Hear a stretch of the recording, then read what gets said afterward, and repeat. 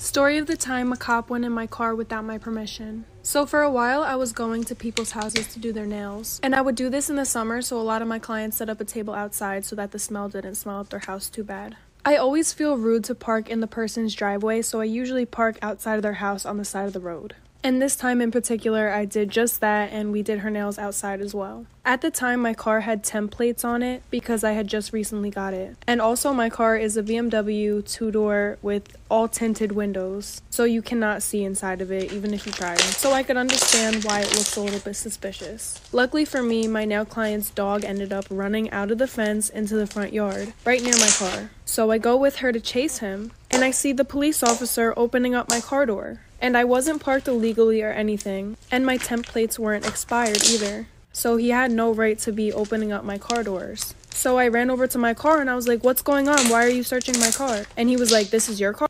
This is why waking up late might just save your life. One day when I was in elementary school, my mom and I both overslept, which meant I wouldn't be ready in time to get on the bus. School started at 8, my bus pickup time was at 7 and it was already 6:40 or something. I was still in my PJs and hadn't even had breakfast yet. My mom decided that today we would just tell the bus driver to go on ahead and she would take me to school, which would give me plenty of time to get ready. It's 6.50, I'm in my PJs, eating breakfast, and that's when we hear the bus pull up 10 minutes earlier than scheduled. My mom peeks her head out of the door into the foggy morning and waves the bus on. She closed the door and came back inside, but the bus didn't pull away. There's a knock at the door, and my mom opens it to find a man in a bus driver uniform. He explains he's a substitute bus driver because the regular driver called in sick, and that he's early because he wanted to get an early start on the route. My mom says she's taking me to school because we woke up late. He gets visibly upset and says he can wait a few minutes since he's already ahead of schedule. My mom says that we won't be ready in a few minutes and tells him to go on ahead. He seemed really angry about this, but turned around, got back on the bus, and left. But at 7 a.m., another bus pulls up to my house. My mom went out to talk to them and came back looking terrified. We put our teacher in the hospital.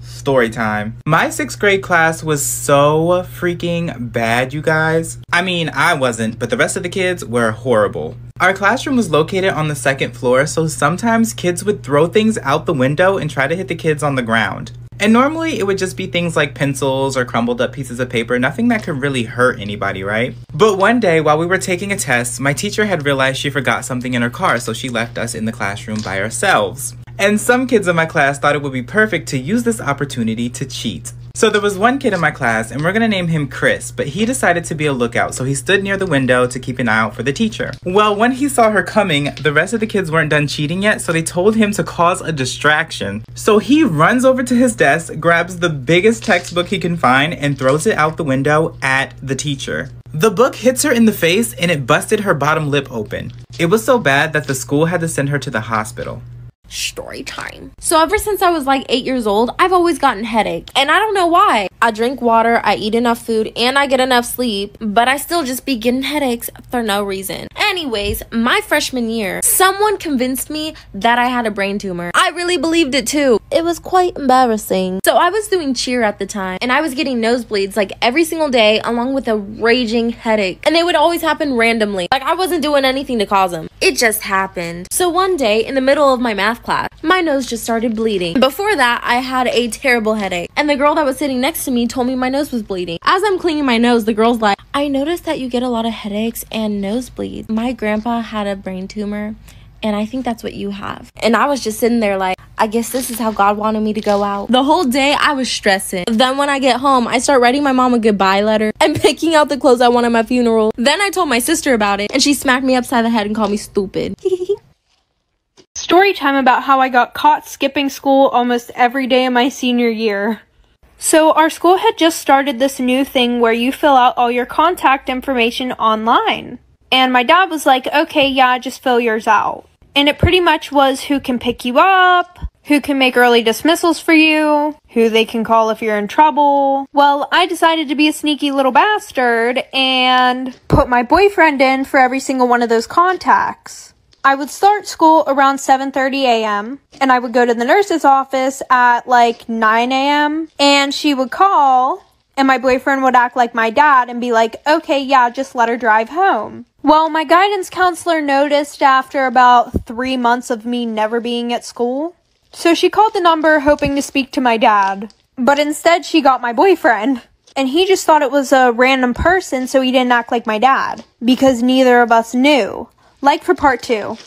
My uncle tried to kidnap me. Story time. Growing up, I was really close to my uncle. I mean, he was like my best friend. But then something happened between him and the rest of my family, and I wasn't allowed to see him anymore. So at this point, a week had passed since I seen my uncle. I was at school about to get on the bus to go home, but I got a text message from my uncle. And it said, Hey, I'm out front. Your dad asked me to pick you up. And I thought it was weird, but I didn't think too much about it. So instead of getting on the bus, I found him and got in his car. And once I got in the car, he started acting really strange. So I sent a text to my dad and let him know that uncle was taking me home. Or so I thought he was taking me home. But instead of going to my house, he started driving past my neighborhood. And right in that moment, my dad texted me back and said, Get out of that car. Do not go with your uncle. He is a bad man. So the moment we came to a red light, I jumped out of the car and started running for my life. And instead of chasing after me, he peeled off. And he was never seen again. I faked my death.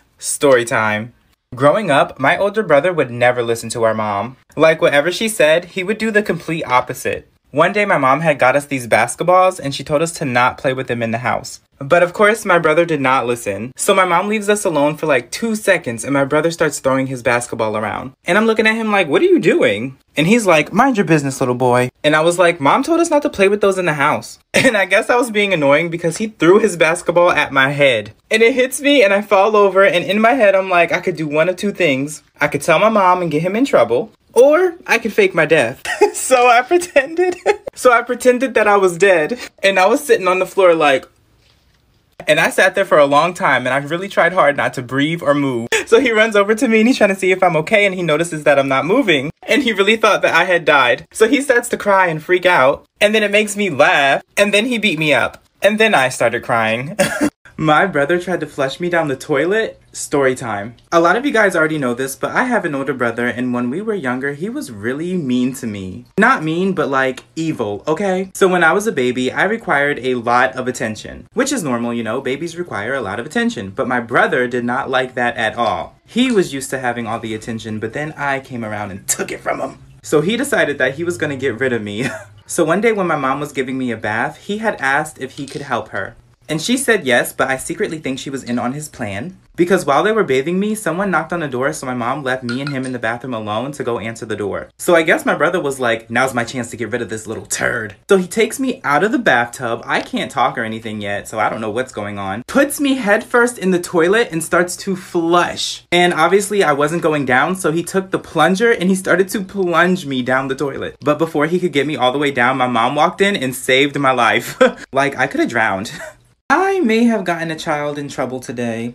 Story time. So today I went to the store to buy some things because I needed some things. So I went to the store, gathered all my items, and then I got in line. And I ended up being behind a mom and her son, and her son had to be like six or seven years old.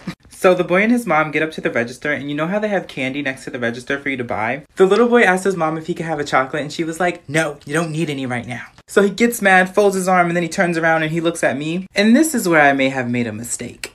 I lean down and I whisper to him and I'm like, just steal the chocolate. Nobody's gonna notice. Now, of course, I was joking, but he actually took the chocolate and put it in his pocket. And I thought he was gonna get away with it too, but he did not. While I was at the register buying my stuff, they start walking out the door and a security guard came from the back and stopped them. And security was like, what do you got in your pocket, little buddy? You plan on buying that? And then the little boy's mom starts yelling at him and she's like, What do you have in your pockets? I didn't teach you to steal. You were not raised like that. And I ain't say nothing. I bought my stuff and walked right past him.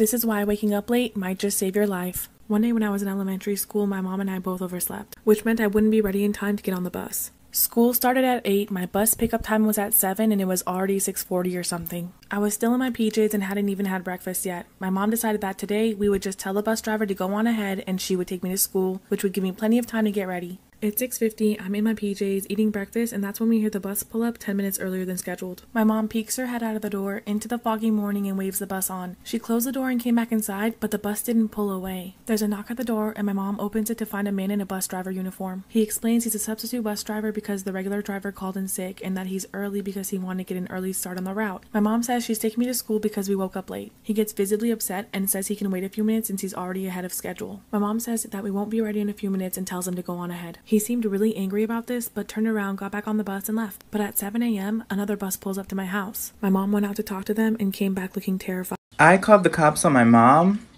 Story time. When I was younger, about seven or eight, I had a huge obsession with soda. Do you guys call it soda or pop? I say soda because that's definitely the correct way to say it. So one day in the morning when I woke up for breakfast, there was nothing to drink except for soda. But instead of giving me soda, my mom had poured me a glass of water. Who drinks water? So then I was like, do I have to drink water?